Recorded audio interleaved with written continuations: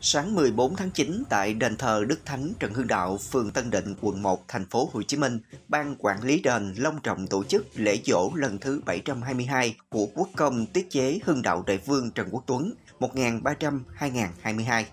Tham dự chương trình, các đại biểu đã cùng cung nghinh lễ dỗ lần thứ 722 của quốc công tiết chế Hưng Đạo Đại Vương Trần Quốc Tuấn Đông đảo người dân thành phố cũng lần lượt đến dân hương, hoa quả, thành kính tưởng nhớ và tri ân công ơn Đức Thánh Trần và các bậc tiền nhân của dân tộc. Hưng đạo Đại vương Trần Quốc Tuấn sinh năm 1228, mất năm 1300, quê làng Tức Mặt, huyện Mỹ Lộc, tỉnh Hà Nam Ninh, nay thuộc tỉnh Nam Định. Ngài là bậc kỳ tài, là anh hùng dân tộc, nhà văn hóa vĩ đại trong lịch sử Việt Nam. Ngài còn là tác giả của hai bộ binh lịch sử và đặc biệt là bài hịch tướng sĩ nổi tiếng còn lưu truyền đến ngày nay. Sau khi Ngài mất, triều đình đã phong tặng Ngài là quốc công tiết chế Hưng Đạo Đại Vương. Lễ dỗ Đức Thánh Trần Hưng Đạo hàng năm là dịp để nhân dân tưởng nhớ công ơn của vị anh hùng dân tộc, vị thiên tài quân sự kiệt xuất và kỷ niệm 734 năm chiến thắng Bà Tăng. Nhân lễ dỗ Đức Thánh Trần, ban quản lý đền đã trao tặng 100 triệu đồng đến quỹ vì biển đảo quê hương,